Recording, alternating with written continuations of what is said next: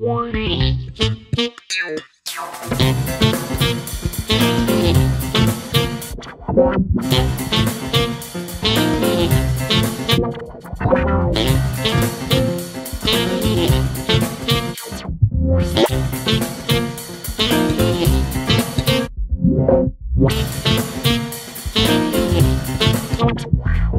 there, welcome to today's vlog. This weekend is an insanely busy one for me. Uh, I'm in London most of the weekend filming for a carol service because you know we normally do jazz carols.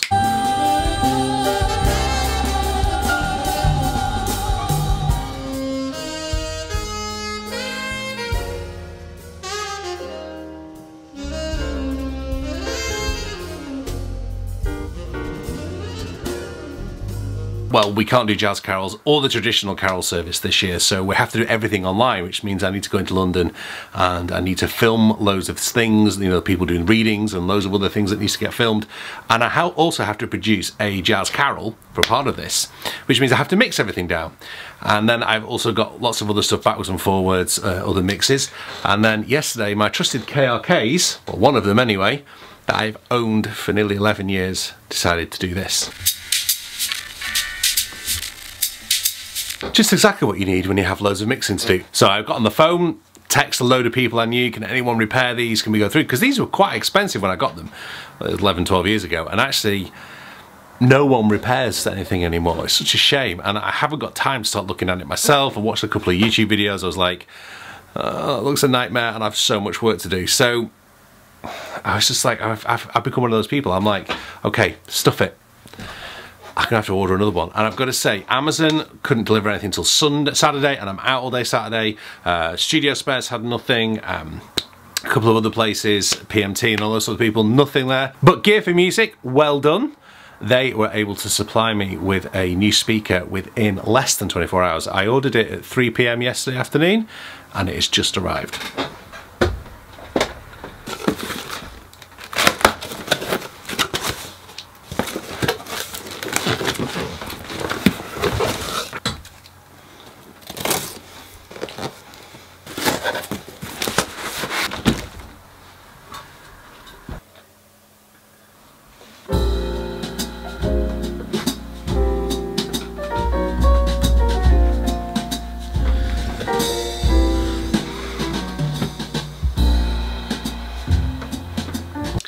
So I've got to do this recording on Sunday of O Come Ye Faithful.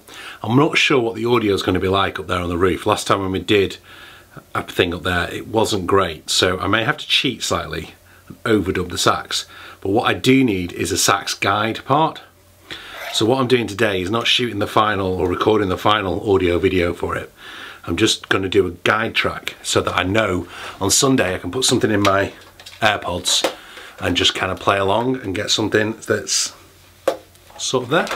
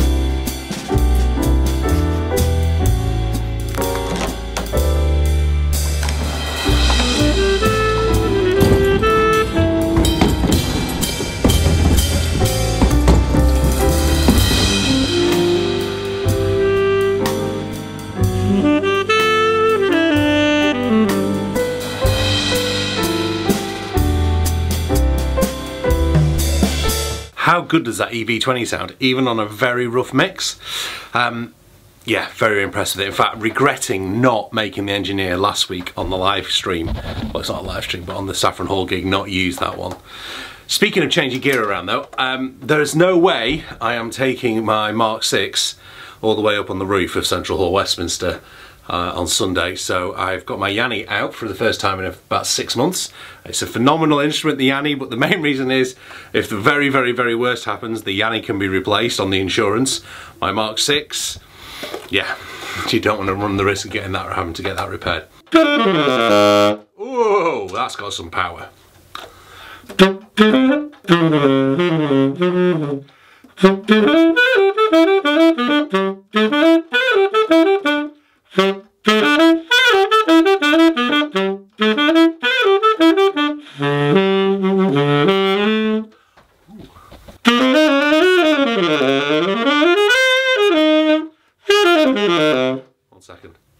Mark 6 is currently in the bath, but not with any water in it. It was just the easier way to store it when I was doing loads of work in here. I'm going to get my reflector.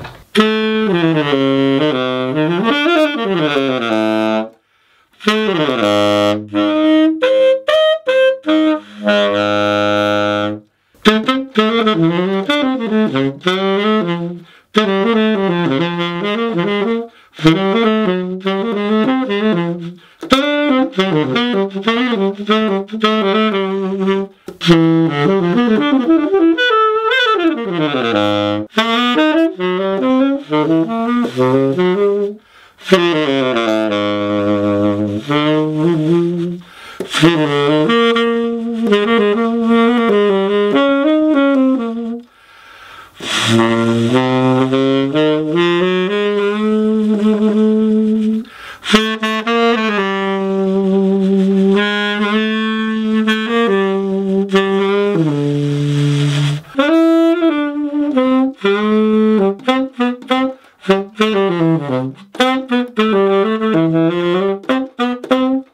haven't done for a long time a Q&A, so I thought we'd do a quick one just to finish off with today. Thank you to all of you for the congratulations for the 600th vlog. It was uh, amazing. Sorry we didn't do anything majorly exciting with any, you know, aeroplanes or cakes or anything else. Go back and watch the 100th vlog if you're not sure about the cake. Uh, Sax Cover says to me, uh, Yanagisawa, Saxophone says, I have a Selmer Paris for five months today. I tested a Yanagisawa. I was surprised all the notes can be played without high effort. Well, I'm just discovering that on tenor this afternoon again. Uh, Mark uh, Flanagan, thank you very much because you've, uh, yes, Mark, yes, definitely a privilege. Thank you to Nesta, to Prince, to Jeffrey, to Jim, uh, everyone else who's put some stuff on there. It's absolutely amazing to see some things.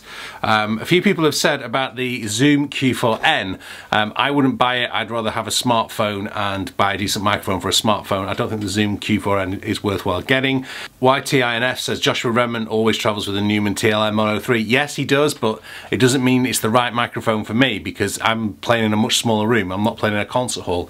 I did consider the Earthworks microphone, which is one that Branford uses, um, that Rob Hunter told me about, but and it was a lot more expensive than the EV20 and I'm really really loving this EV20. Quite a few people talking about the AnyTune Pro app and you know because you're on Android if you go to their website I'm pretty certain there is a link to either the Windows version or the Android version version for that I guess you know it's just one of those things that there's different way around. There is the amazing slowdowner if you need something to slow down or I use still use transcribe by Seventh String um, on my Mac all the time that's what I'm using constantly. I use that every single day. That and my email app and a browser are the three things I use the most. Uh, so anyway thank you very much for watching today. I'm not sure how much I'll get in over the weekend. It's been nice to do two vlogs on two consecutive days. It's been a long time since I did that um, but uh, don't forget to make sure you are subscribing and give me a like. Uh, check out my last vlog here. This is what I was up to at this time last year. I'll be back with you very, very soon with some more saxophone. I'm hoping to be able to give you some video from Sunday, but we'll see what happens. It could be a long, long day. Thanks for watching. Bye-bye.